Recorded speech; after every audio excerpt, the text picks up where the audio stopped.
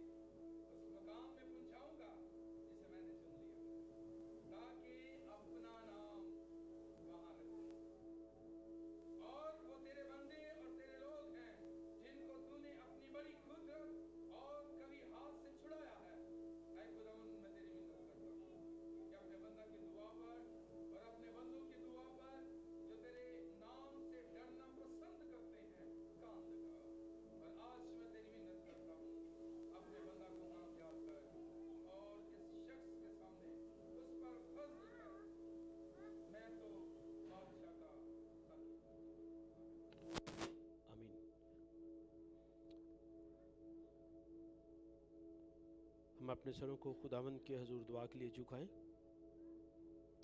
हर एक आँख खुदावन के हजूर बंद हो जाए और हर एक सर खुदावन के हजूर झुक जाए।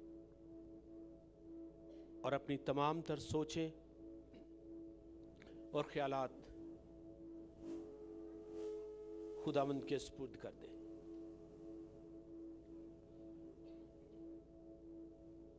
मेहरबान कदू ज़िंदा आसमानी बाप तेरे कलाम के लिए और बाप तेरे कलाम की तमाम तर सदाकतों के लिए तेरे हजूर में शुक्रगुजारी करते हैं। और बाप तेरे रूह पाक की उस सारी खिदमत के लिए तेरे हजूर में शुक्रगुजारी करते हैं कि जिसने तेरे लोगों को यह तहरीक बख्शी कि तेरे कलाम को अबरानी और यूनानी में से हमारे लिए हमारी ही ज़ुबान में तहरीर करवाए। बाप तेरे रूह पाक की इस सारी तहरीक के लिए तेरे हजूर में शुक्रगुजारी करते हैं। और बाप उन तमाम तर जिंदगियों के लिए भी तेरे हजूर में शुक्रगुजारी करते हैं। जिन्होंने तेरे कलाम को हमारी ज़ुबान में तहरीर किया। और बाप तेरे कलाम की इस हकीकत के लिए भी तेरे हजूर में शुक्रगुजारी करते हैं कि जो आज तक नहीं बदला, मगर बेशुमार जिंदगियों को बदलने पर कादिर रहा है। इसके साथ ही अपने आप को और अपनी तमाम तर कमज़ोरी लाइलमी की हालत और अल्फाजों की बेतरतीबी को तेरे यसु नाम में छुपाए दिए देता हूँ और मिन्नत किया चाहता हूँ कि बाप, तू मेरी तमाम तर कमज़ोरी, लाइलमी की हालत और अल्फाजों की बेतरतीबी में सिर्फ़ और सिर्फ़ अपने बेटे यस्सु का जलाल ज़ाहिर कर। ताकि बाप, तू बढ़ता चला जाए और मैं कम होता चला जाऊँ। और बाप, इसके साथ ही तेरे हजूर में हाजिर जमात के लिए मिन्नत किया चाहता हूँ कि हाजिर जमात को सुनने वाले कान समझने के लिए फ़ाहम और कबूल करने वाला दिल अता कर। ताकि बाप तेरा कलाम इन ज़िंदगियों में जड़ पकड़े और तेरा बेटा यस्सु इन ज़िंदगियों से इज़्ज़त और जलाल पाए। मसीह यस्सु के नाम में। आमीन।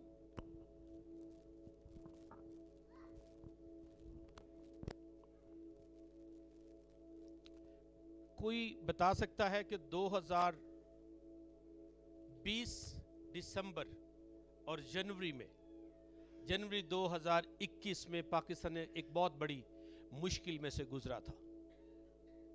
किसी को याद होगा? है?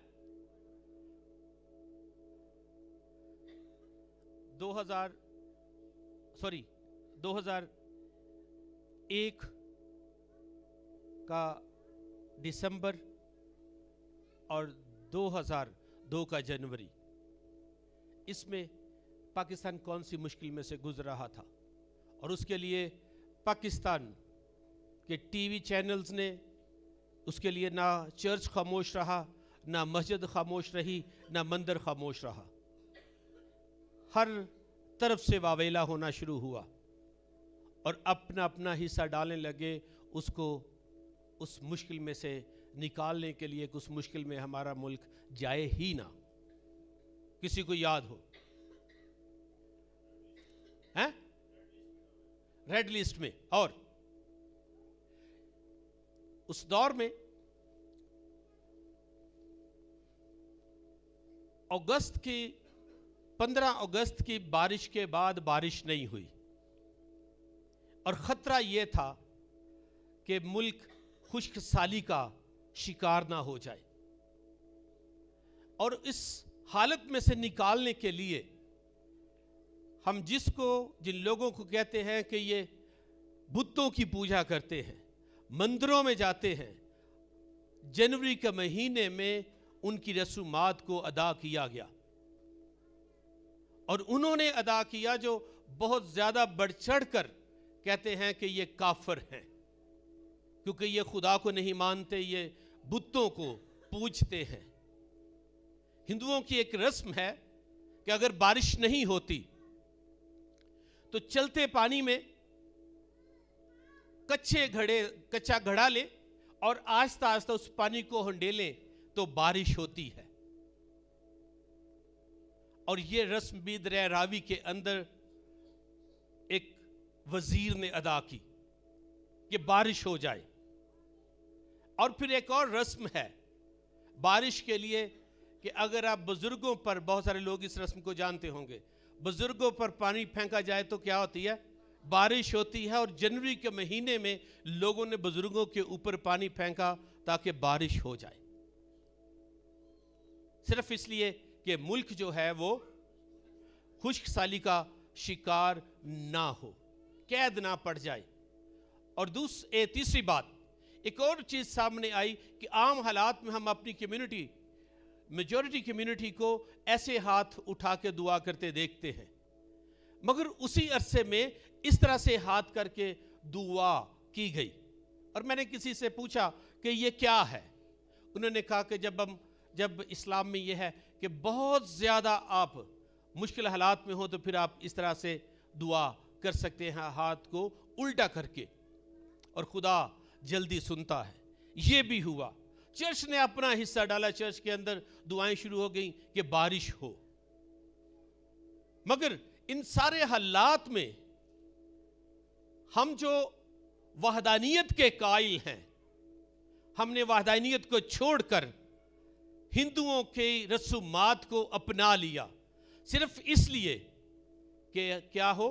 कि हम कहत से बच जाए, खुश खुशसाली से हम बच जाएँ। मगर तलावत करदा हवाले में भी हमें ऐसी ही सूरत हाल नज़र आती है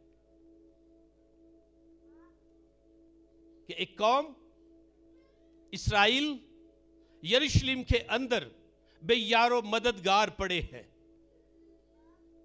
मगर जब नहमिया को पता चलता है तो नहमिया अपने जिस मेजॉरिटी कम्युनिटी में रह रहा था, उनके खुदाओं की तरफ़ रजू नहीं होता। वो अपने ही खुदा के हजूर आता है। और वो अपने ही खुदा से वावेला करता है। और ये सारा यहूदा, यहाँ पर यहूदा का कबीला है। बुनियादी तौर पर यह हुसन इतफाक है कि हज़रत दाऊद ने 40 साल तक सल्तनत की। 40 साल तक उसके बाद किसने सल्तनत की?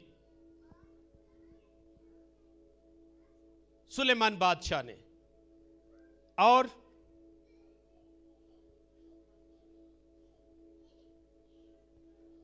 उससे पहले, दाऊद से पहले कौन सा बादशाह था?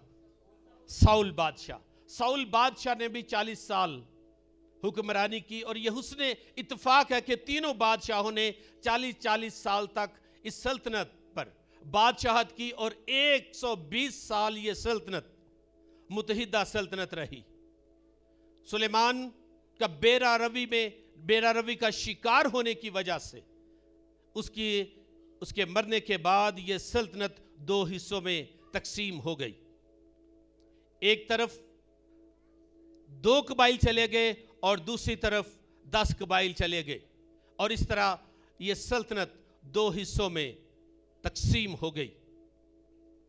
और यहूदा के कबीले पर एक ही खानदान के लोगों ने हुक्मरानी की और 19 बादशाह इसके हो गुजरे जबकि दूसरी तरफ़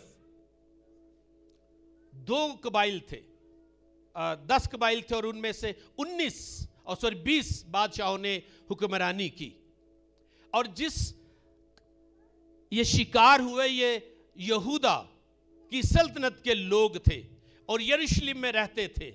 और एक चर्च राइटर कहता है कि यरूशलेम की उस वक्त हालत ये थी कि उनकी लाशें यरूशलेम के सड़कों पर बिखरी पड़ी थी और हवा के परिंदे उनकी लाशों को नोचते थे। इनके बेयारो मददगार। जब ये सारी हालत नहमिया देखता है, अपनी कौम की हालत को देखता है, सुनता है। लिखा है कि उसके भाई आते हैं, वो सबसे पहले अपनी कौम के बारे में पूछता है और जब वो बताते हैं कि कौम की हालत ये है, उसके फाटक जल चुके हैं, फसील टूट चुकी है और उस फसील को तोड़ना इतना आसान नहीं था और उस फसील के ऊपर एक वक्त में सात रथ दौड़ सकते थे। इतनी चौड़ी दीवार थी। यानी कि इससे भी चौड़ी दीवार। रथ, ये कह ले के पंजाबी में टांगा? देखिए ना, सात टांगे जो हैं, वो एक वक्त में उस दीवार पर भाग सकते थे और उसके स्टेप बने हुए थे।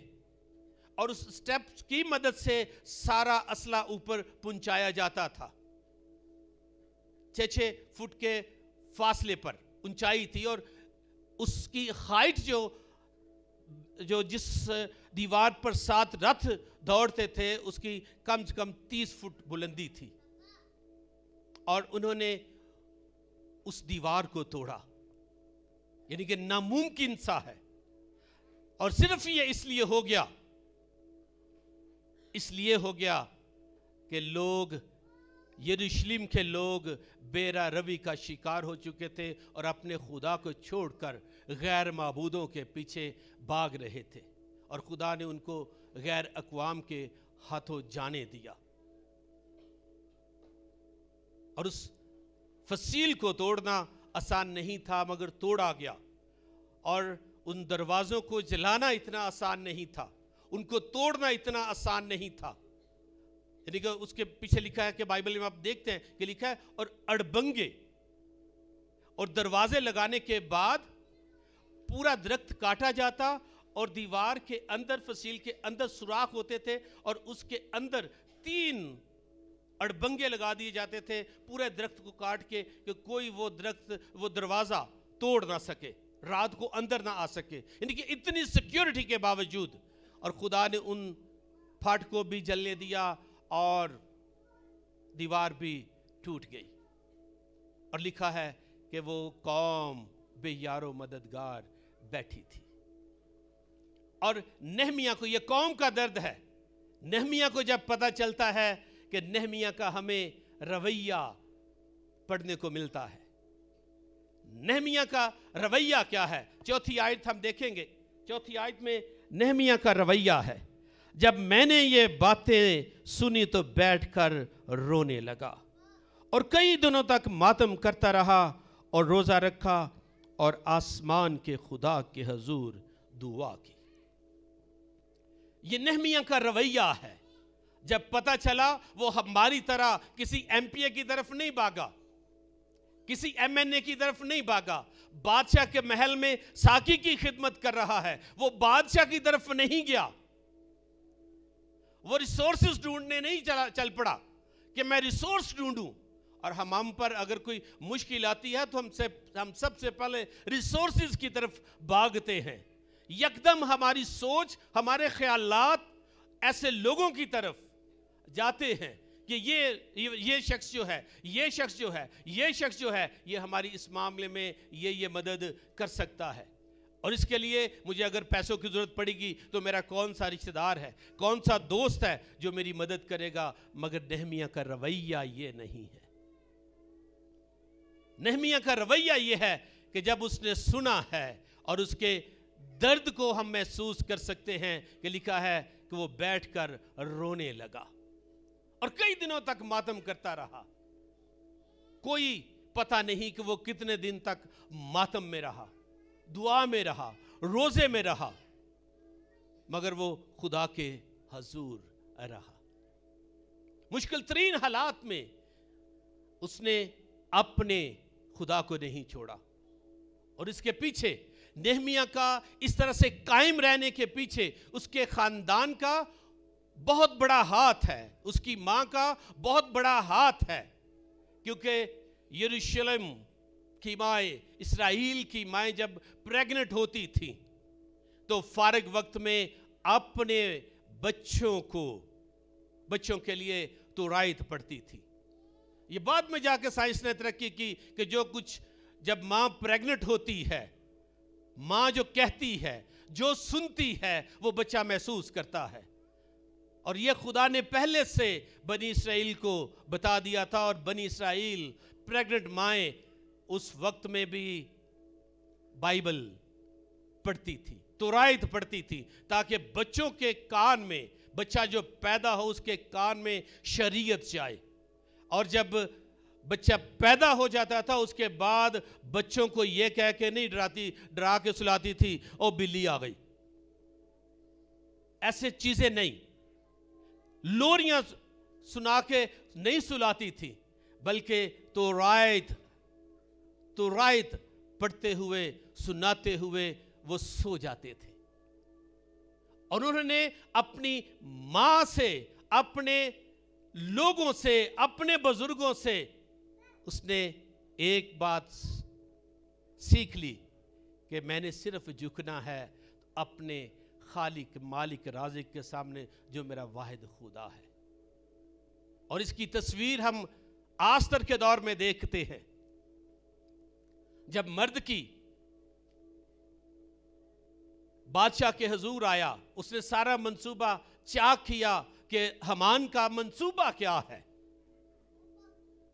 हमान का मंसूबा क्या है? और हमान ने सारी कौम को कत्ल करने का मंसूबा सिर्फ़ एक शख्स के ईमान के इजहार पर बनाया। क्योंकि मर्द की जो था बादशाह के महल में साकी था, मगर वो झुकता नहीं था। हालाँकि साकी के ऊपर ये ज़िम्मेदारी है कि जब वो कोई चीज़ पेश करता है तो वो झुकता है, मगर मर्द की झुकता नहीं था। और हमान ने इस चीज़ को देख लिया।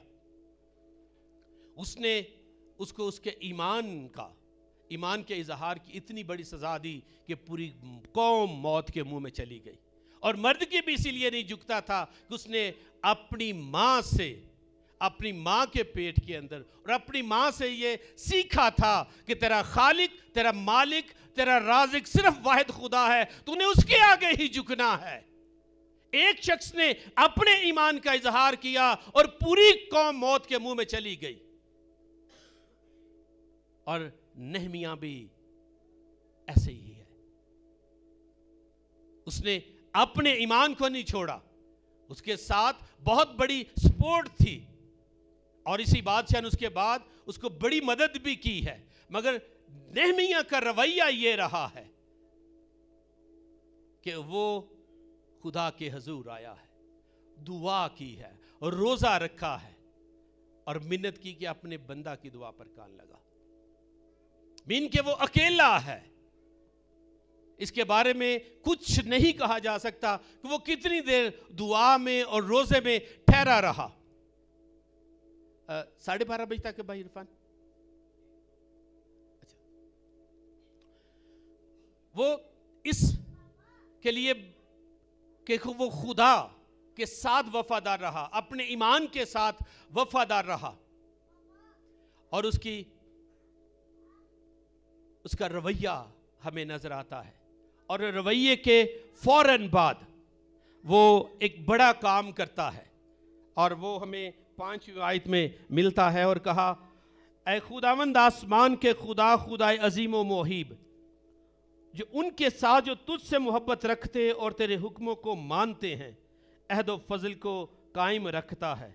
माँ तेरी मिन्नत करता हूँ। खुदा को, खुदा की सिफ्त याद दिलाता है। खुदा से कहता है तेरी ये सिफ्त है। मैं जब कभी इसके बारे में पढ़ता हूँ और इस, इस पे सोचता हूँ कि बड़ा नफसियाती तौर पर नहमिया खुदा के साथ भी बात करता है। सबसे पहले वो अपने आप अपने आप को खुदा के हजूर लेकर आता है।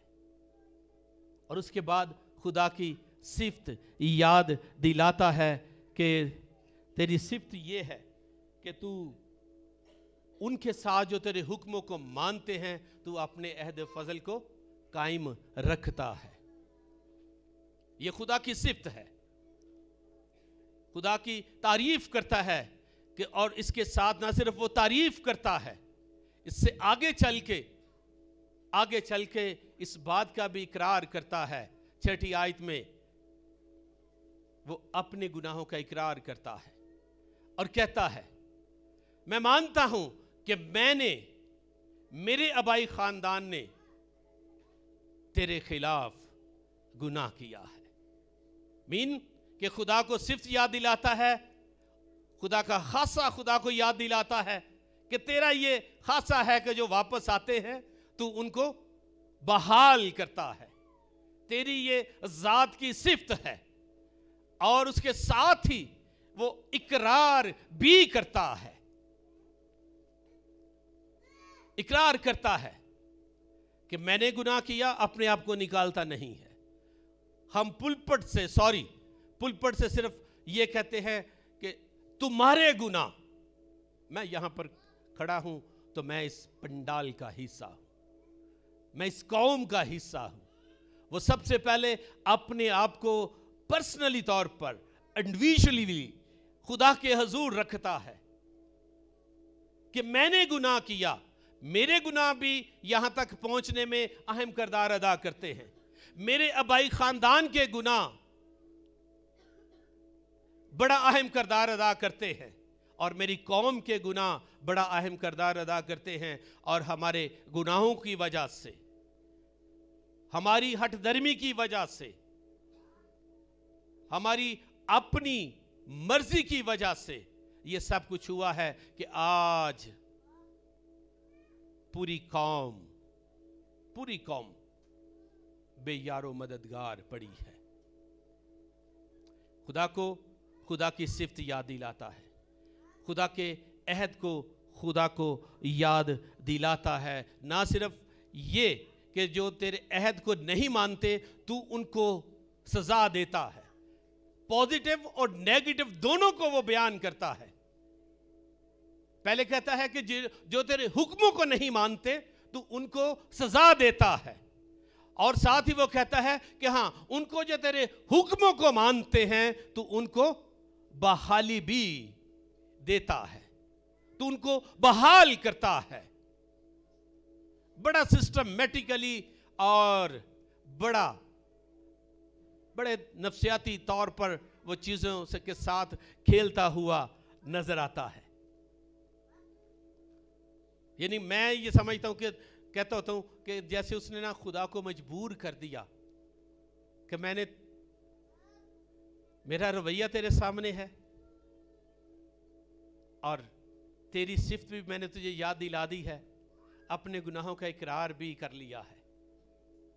दोनों तरह से कि जो गुनाह करते हैं तो उनको सजा देता है जो अपने गुनाहों का इकरार करके तेरी तरफ़ वापस आते हैं तो उनको बहाल करता है। और खुदा इस कौम को बार बार बहाल करता रहा है बार बार बहाल करता रहा है, और बार बार ये गुनाह में गिरती रही है। दूसरी जंग अजीम में इंग्लैंड के पास से वो बारूद खत्म हो गया, जो बम ब्लास्ट करता है। और मलिका बरतानिया ने कह दिया कि अब हम जंग हार जाएँगे। जॉन हॉपर, जो एक साइंसदान था और यहूदी था, उसने कहा, वो बारूद मैं बनाऊँगा। और उसने वो बारूद बनाया और उस बारूद के बाद इंग्लैंड जंग जीत गया। उसमें सारे जितने भी फौज के लोग थे, काम करने वाले जो जंग में मर गए, जो ज़िंदा थे, उनको शख्सी तौर पर मलिका बरतानिया मिली और इनामात दिए। और जब इसके सामने आई मलिका बरतानिया जॉन हॉपर के सामने, उसने कहा कि मेरे पास कुछ नहीं है जो मैं तुझे दे सकूँ। मांग क्या माँगता है? यहाँ तक कि मैं तुझे अपनी आदि सल्तनत देने के लिए भी तैयार हूँ, क्योंकि तेरी वजह से हम ये जंग जीते हैं। कौमियत दिखाने लगा हूँ। उस बंदे ने कहा, मुझे कुछ नहीं चाहिए। मुझे सिर्फ़ वो सरजमीन जो खुदा ने मेरी मेरे अबाव अजदाद के साथ वादा किया है, जहाँ पर आज इसराइल आबाद है। वो मुझे मेरी कौम को वापस की जाए। वहाँ पर हमें आबाद किया जाए और एक ही रात के अंदर गजा की पट्टी पर पाँच लाख यहूदी आकर आबाद हुआ। और उसने कुछ नहीं मांगा, अपनी कौम के लिए उस सरजमीन को मांगा। उस सरजमीन को मांगा जिसका खुदा ने उनके साथ वादा किया है। ये कौमियत है, ये लीडरशिप है कि मैं क्या अपनी कौम के लिए छोड़ता हूँ, मैं अपनी कौम के लिए क्या करता हूँ। मैं खा मसाइल व मसाइब में चला जाऊँ, मेरी कौम ऊपर आनी चाहिए, मेरे लोग ऊपर आने चाहिए। और इस कौम के अंदर ये है। और उन्नीस में 48 में ये कौम आकर इस मई 1948 में आकर ये कौम इस खत्े में आबाद हुई। और आज इस सारे हालात से आप वा, वाकिफ हैं। ये कौमियत है।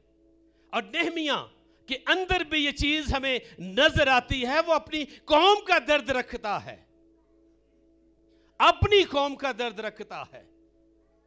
अपनी कौम के लिए आहो नाला करता है, अपनी कौम के लिए दुआ में ठहरता है, अपनी कौम के लिए रोज़े में ठहरता है। मैं ये कहता हूँ, कौम को भूल जाओ। अपने खानदान के लिए, अपने चर्च के लिए काम शुरू कर दें। आखिरकार आप अपने खानदान से बरकत लेकर उठेंगे। वो बरकत आपकी कलिसिया में आएँगी, वही बरकत सूबे में जाएँगी, वही बरकत मुल्क में जाएँगी। किसी एक को अपने चर्च से इस चीज़ का आगाज़ करना है, कौमियत को लेकर उठना है, लीडरशिप को लेकर उठना है, ताकि लोग बहाल हों। हम शायद लोगों की बहाली के लिए उस तरह से फिक्रमंद नहीं हैं। हम अपनी बहाली के लिए फिक्रमंद हैं। नेहमिया, अपनी बहाली के लिए फिक्रमंद नहीं है।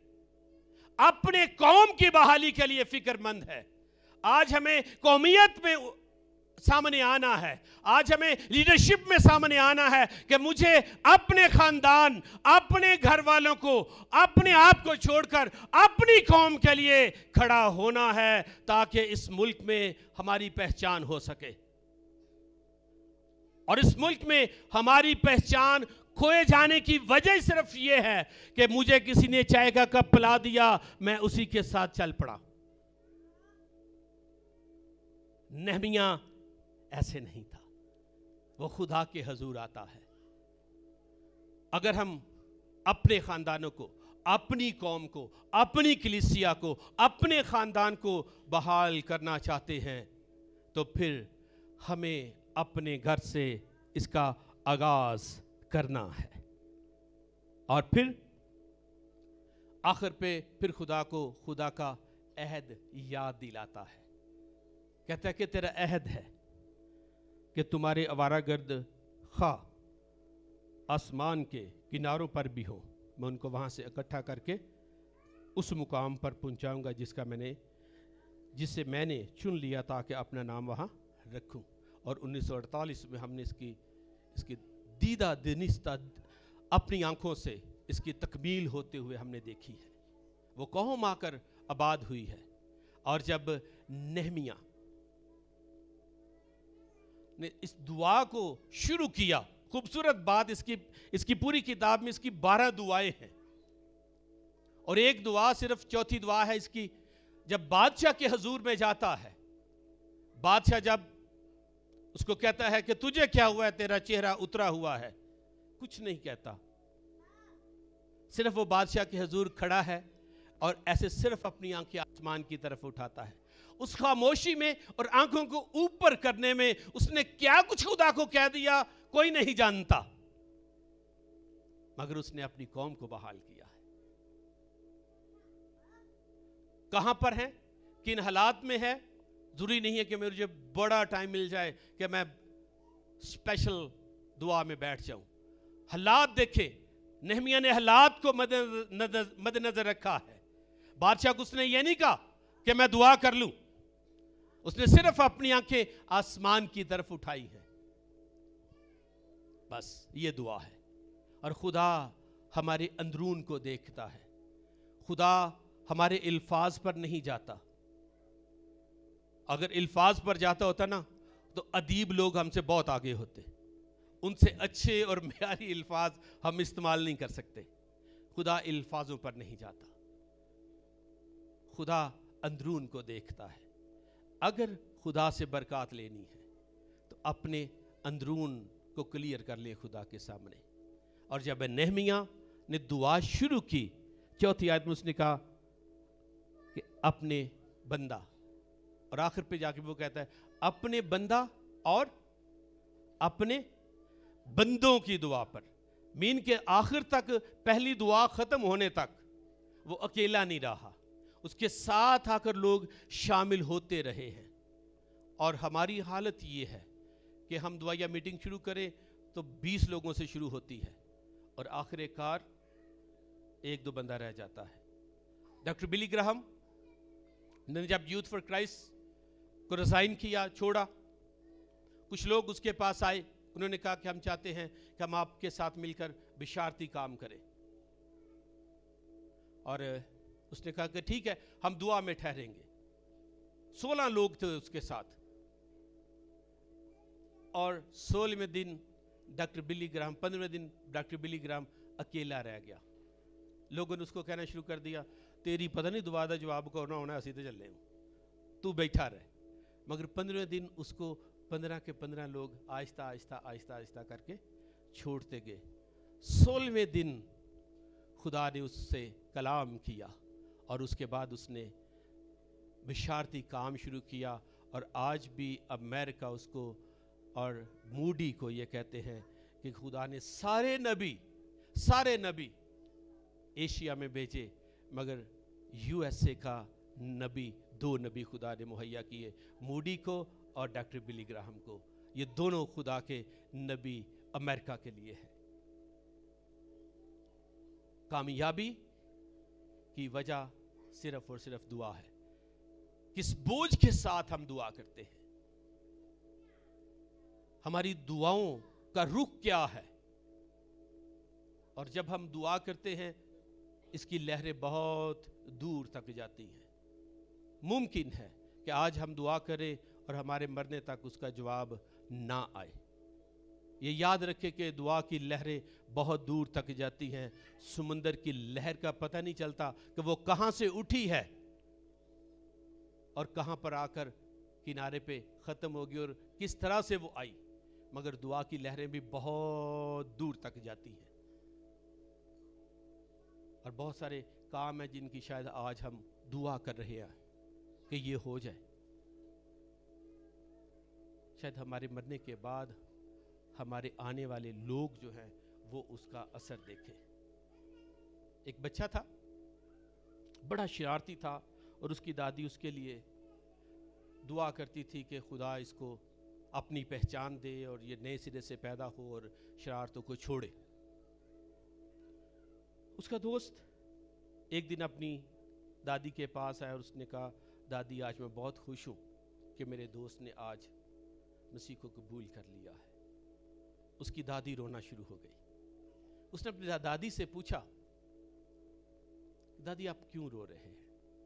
उसने कहा, इसकी दादी मेरे साथ बैठ के घंटों इस बच्चे के लिए दुआ करती थी कि ये मसीह में आ जाए, बहाल हो जाए, बच जाए।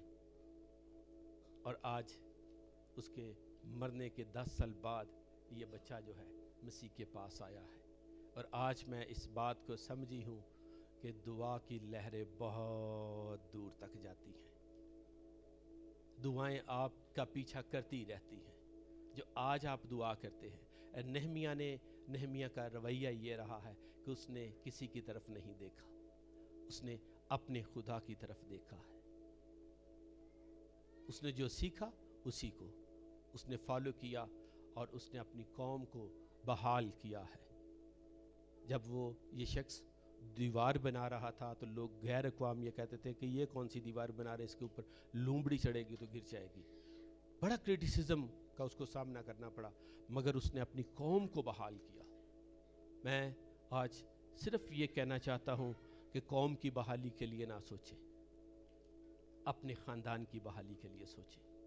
सिर्फ़ अपने ख़ानदान की बहाली के लिए। आपका ख़ानदान बहाल होगा आपकी कलिसिया बहाल होगी।